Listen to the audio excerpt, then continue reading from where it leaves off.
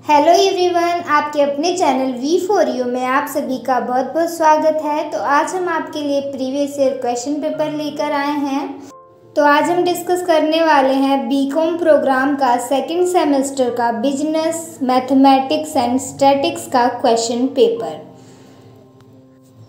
तो यहाँ आप देख सकते हैं, ये क्वेश्चन पेपर है। इसमें आपको ड्यूरेशन जो मिलता है वो थ्री आवर्स का होता है। तीन घंटे आपको दिए जाएँगे।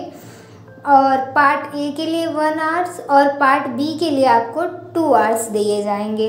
और जो मैक्सिमम मार्क्स है, वो है सेवेंटी फाइव लेकिन जो पार्ट वन के मार्क्स हैं, वो है ट्वेंटी फाइव मार्क्स का एंड पार्ट बी का फिफ्टी मार्क्स का है। और कुछ, और यहाँ पर कुछ इंस्ट्रक्शंस गिवन है कैंडिडेट के लिए कि सबसे पहले आपको ऊपर अपना रोल नंबर लिखना होता है। क्वेश्चन पेपर पे सारे क्वेश्चन करने कंपलसरी होते हैं।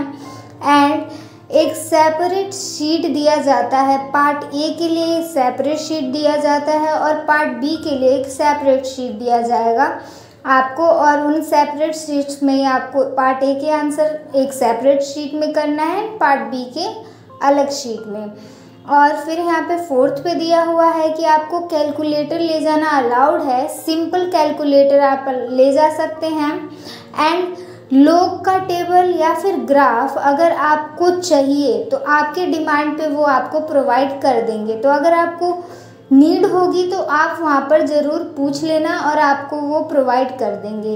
एंड फिफ्थ यहाँ पे इंस्ट्रक्शन है आंसर में भी रिटर्न आइदर इन इंग्लिश और हिंदी किसी भी लैंग्वेज में आप इंग्लिश या हिंदी में लिख सकते हैं, लेकिन आपने जो मीडियम फिल किया है पेपर का, उसी मीडियम में आपको करना है। यहाँ आप देख सकते हैं, ये पार्ट वन है। बिज़नेस मैथमेटिक्स दे रखा है, भाग का।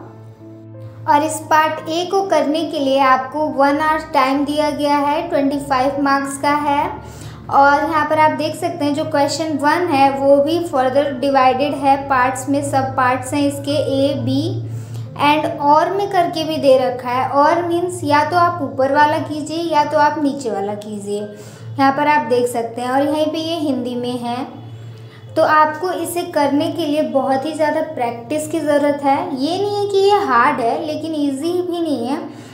प्रैक्टिस, मैथ तो प्रैक्टिस माँगता है। तो प्रैक्टिस आपको बहुत ज़रूरी है। आप देख सकते हैं क्वेश्चन टू में भी पार्ट्स हैं और इसको भी और में गिवन है। टू पार्ट्स हैं फर्दर इसके। और यहाँ पर हिंदी में गिवन है। अथवा मीन्स भी यही होता है, या तो आप ये वाला अटैम्प्ट कीजिए, या फिर ये वाला अटैम्प्ट कीजिए। एंड यहाँ पर देख सकते हैं आप, ये थर्ड क्वेश्चन है। थर्ड क्वेश्चन भी सेम है। इसमें भी दो क्वेश्चंस तीन क्वेश्चंस दिए रहते हैं, और वो पार्ट्स में दिए रहते हैं। आप देख सकते हैं, ये पार्ट बी आ गया, जो कि है स्टैटिक्स यहाँ पर भी इंस्ट्रक्शंस गिवन है। फ़र्स्ट है कि आपको सारे क्वेश्चन अटेम्प्ट करने हैं कंपलसरी है। एंड क्वेश्चन वन जो है वो फाइव मार्क्स का है. फाइव मार्क्स कैरी करता है और जो अदर क्वेश्चन है वो वो टू पार्ट्स में है. फ़र्स्ट पार्ट जो है वो फाइव मार्क्स का है एंड जो सेकंड पार्ट है वो टेन मार्क्स का है. And each question except first is of fifteen marks मतलब कि फ़र्स्ट को छोड़ के बाकी सारे क्वेश्चंस जो है वो फिफ्टीन फिफ्टीन मार्क्स के हैं. सेम चीज़ यहाँ हिंदी में ही वही लिखी हुई है, जो भी हमने आपको बताया, छात्रों के लिए निर्देश। एंड यहाँ आप देख सकते हैं, ये क्वेश्चन वन है। क्वेश्चन वन में A B C and D five questions होंगे डी ई फाइव क्वेश्चंस होंगे इसमें। और इन्हीं क्वेश्चंस को यहाँ हिंदी में दिया हुआ है। आपका जो भी मीडियम है अगर आप हिंदी मीडियम के हैं तो हिंदी में अटैम्प्ट कीजिए। अगर आप इंग्लिश मीडियम के हैं तो इंग्लिश में अटैम्प्ट कीजिए। यहाँ पर आप देख सकते हैं, ये सेकंड क्वेश्चन है, इसमें ए एंड बी एंड दो पार्ट्स हैं। दो दो पार्ट्स में डिवाइड है ये, और यहाँ पर और में दिया हुआ है, या तो आप ऊपर के दो कीजिए, या तो ये नीचे के दो क्वेश्चंस कीजिए। और यहाँ पर ये इन्हीं को हिंदी में दिया हुआ है।